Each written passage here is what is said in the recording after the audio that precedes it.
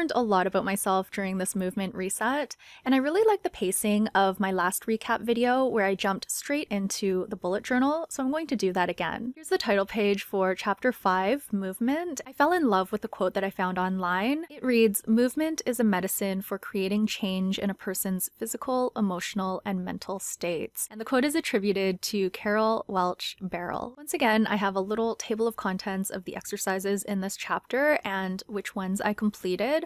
I completed all of the exercises in every section except the explore section where you're asked to choose two or three to complete, and I ended up choosing two. For the reaction exercise in the arrive section, I listened to myself read the personal story, and you can access these audio recordings on my website. I jotted down a few things as I listened to the personal story, and what really struck me was how many different forms of movement I've tried in the past. Things like dance classes or other fitness classes, dragon boat, ultimate frisbee, that sort of thing.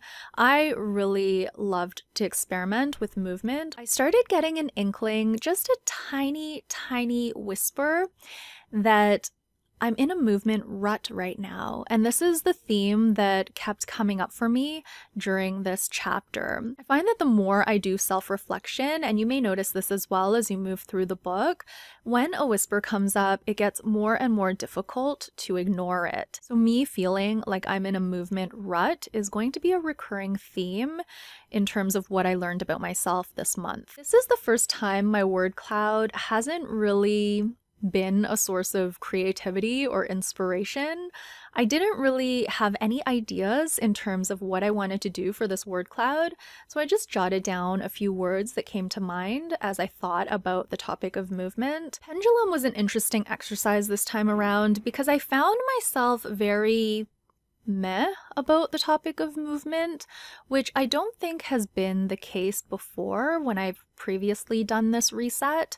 All of my dots were kind of in the middle. I didn't really feel one way or the other. I'm not interested in the topic. I'm not disinterested in it. I don't necessarily enjoy talking about it or not enjoy talking about it. I just felt very flat when it came to this topic, which is something that surprised me. When I went through the observe section, I actually did it in order. So I did my seven days of self observation and then I did the patterns exercise. But when it came to documenting these exercises in the bullet journal, I decided to use this one page for patterns. So these are things that I noticed about myself after completing a week of self observation because I wanted to use an entire spread for my journal section. Instead of doing long form journal entries this month where I write everything in sentences, I wanted to do more of a table format, very similar to what you would see in a spreadsheet because I love spreadsheets. I love seeing all seven days laid out like this, and this did help me identify some patterns.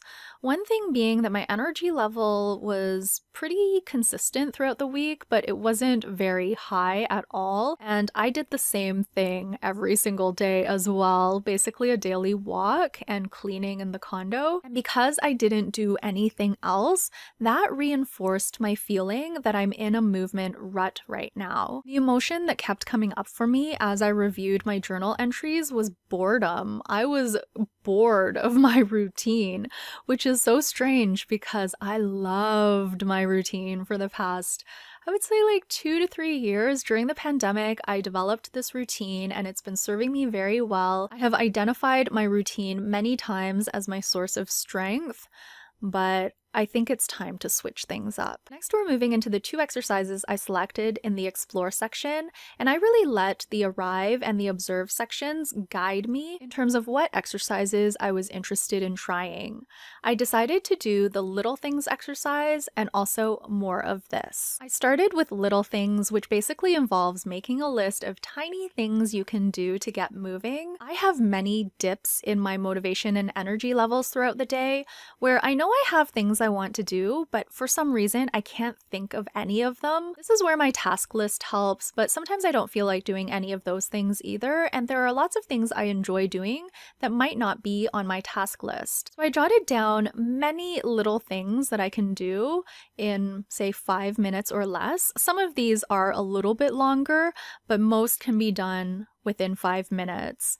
So these are things like empty the dishwasher, do a sun salutation in terms of yoga, do five jumping jacks, take out the garbage, walk up and down a flight of stairs, flip through a favorite book, give Lulu a hug, wipe the kitchen counters, go out on the balcony and look at the sky. So these are just some of the examples of things that I wrote down, but if I ever am in need of something to get me moving, I can look at this list. I would happily give Lulu a hug at any time, and that would involve me getting up, going to Lulu, picking her up, giving her a hug. I'm sure that would lift my spirits, which really helps in getting things moving for me. More of this is an exercise that involves listing ways of moving your body that you'll enjoy, that you'd like to try again or do more of, or that you'd like to try one day. So because I'm in a movement rut, I thought this would be a great exercise for me to list a few things I'm excited to try I ended up having a hard time with this exercise. Of course, I thought of the things that I currently do. These are things like walking, stretching, dancing, shaking, and housework. So these are things that I do enjoy doing, but because I'm in a movement rut, none of these things were exciting to me. I did feel a little bit of energy around some of the movements that I wouldn't mind trying again. So these are things like yoga, which I haven't done in a very long time, rock climbing, aerial hoop, trampolining, frisbee, cartwheels, and the list goes on. So these are some things that are giving me a little bit of energy and excitement as I look through the items on this list. I'm like, oh yeah, I would like to try that again. That got me excited to write down some new things, some movements that I haven't tried before, and this was again really tough. The only things that I wouldn't mind trying, but I'm not even that eager to try these things, are Zumba, barre class, indoor skydiving, disc golf, and Pilates. There were a few things that I was interested in trying before that I'm no longer interested in, things like bungee jumping and diving. I think these are more adrenaline based activities that I'm not really that interested in anymore. I'm not like chasing that adrenaline rush anymore. So I did find this exercise pretty challenging because even though I feel like I'm in a movement rut, I'm not sure what else I want to do. It's going to take some experimentation to figure it out, and maybe the experimentation is all I need. Maybe it's an ebb and flow where I need some novelty and then I can go back and happily be in my routine again. So that's another something that I learned about myself is that even when I'm very happy with something that could change and I could want something different in the future. That's a really useful lesson about myself is that I'm always changing, which is the whole point of this book. Next, we're moving into the connect section and I loved the memories exercise. I got the idea to look through my photos to see what forms of movement I enjoyed as a young child. I loved to climb as a young child and that's what I'm doing in this photo. I'm four years old here. I enjoyed climbing things throughout my life. Up to now, to this day, I still enjoy climbing things. So that was definitely a theme that came up for me. And in the memories section, I just wrote all of the things that I love about movement. I wrote the same things over and over again in some cases. For example, stretching came up over and over again, which was very interesting to me because I very rarely take the time to stretch anymore. I just do tiny stretches when I get up and move around in the condo. But I don't do any dedicated sessions where I stretch for five or 10 minutes, and maybe that's something I want to get back to. Next is disentangling, and this was a hard one for me because I have gone through so many ups and downs when it comes to movement and my inner critic telling me I need to do more. I finally reached a place where I was at peace with my level of movement, listening to my body, and feeling really good about the way I moved. But now it has kind of come full circle. It's not really so much my inner critic telling me I need to move more, but I think now it's truly my inner compass that says, you know what, you're in a bit of a movement rut, it's time to switch things up.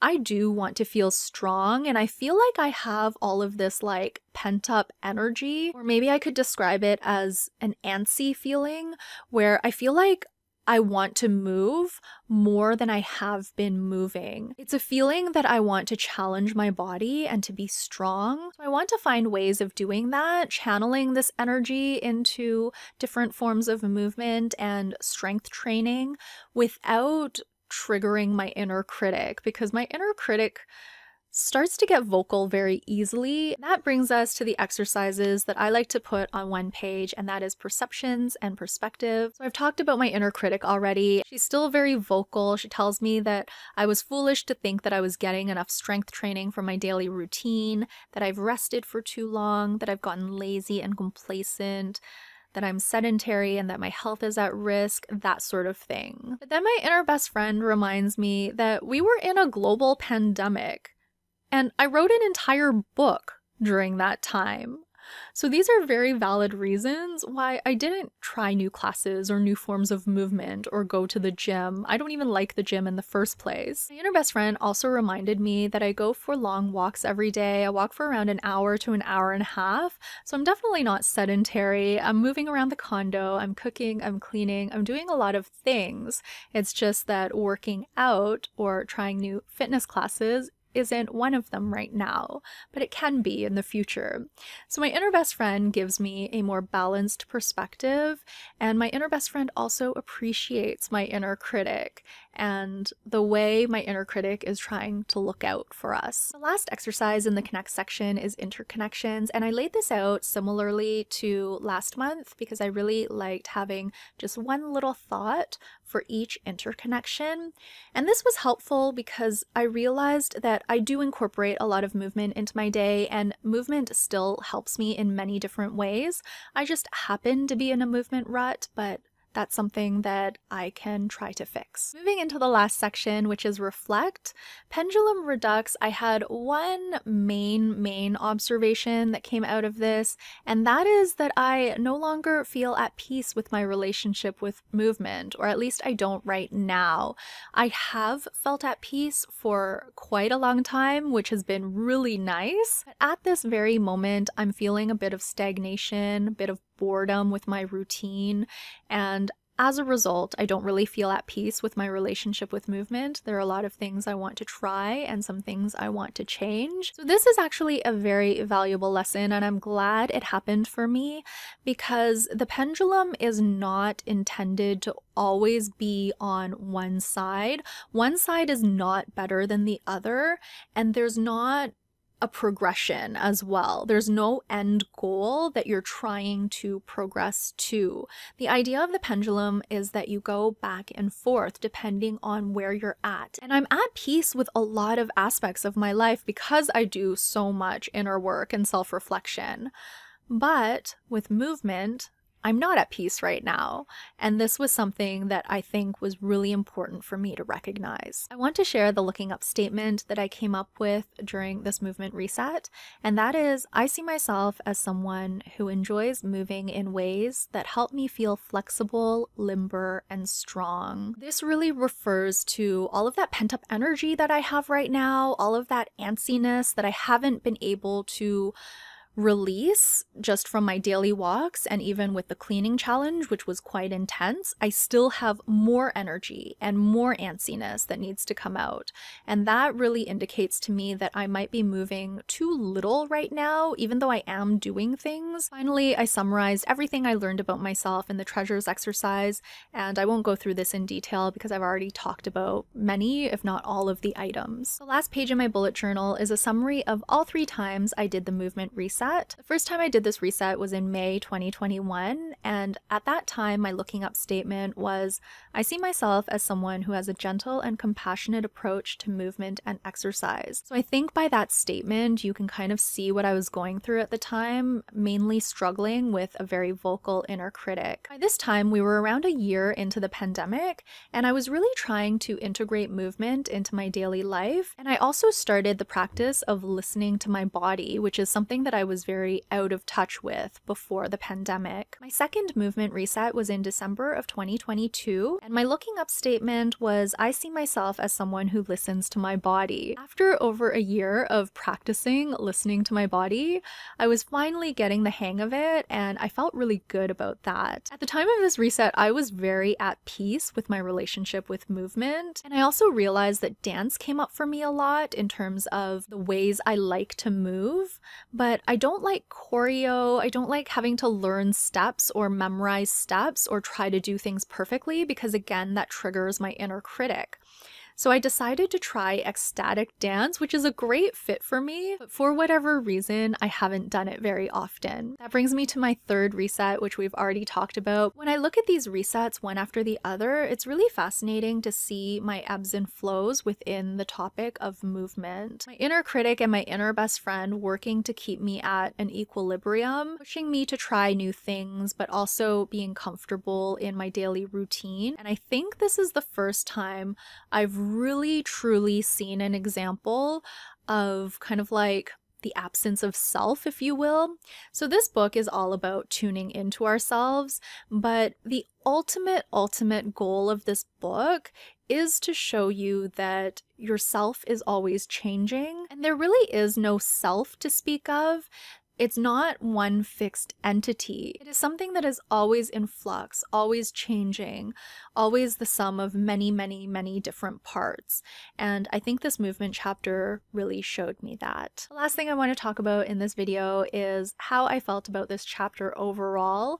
I decided to give it a dark blue, which signifies that I had mixed feelings about it. I really did learn a lot about myself in this chapter, but it was a little bit uncomfortable because because I realized that what I loved last year is no longer what I love today. My routine served me well, but it's time to switch things up. And while I love change, it's also really uncomfortable. So knowing that I'm going to be pushing myself to make some changes is a hard thing for me, but I'm willing to do it and I'm happy to do it, especially now that I've dug deep into my beliefs about movement. I feel this internal motivation that's deeper than just I should do this. It's a true desire to want to make a change. That is going to be it for my movement recap video. Thank you all so much for watching. I'm going to be starting the home chapter next. I'll be posting the intro video for that chapter in the next day or two. I'll see you very soon in that video. Until then, please take care and bye for now.